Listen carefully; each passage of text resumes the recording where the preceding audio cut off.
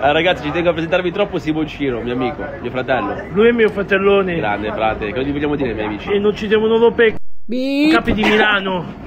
E Fefe e lo spazzolino. No, beh, Fefe- salutiamo Fefe. Ciao Fefe, Ciao, sei capo Fefe. dello spazzolino? Cos'è che dobbiamo dire Fefe?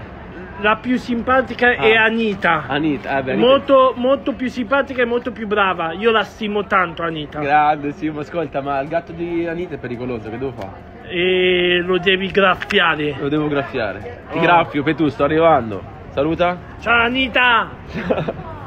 Hai- co- così tanto devi trattare bene mio fratellone. Eh, Anita, dai, trattami bene. Raga, ma non è che è tutto quello che io devo fare, devo sempre pensare, oh mio Dio, ah, che cosa può succedere? Cioè, io sono un uomo libero.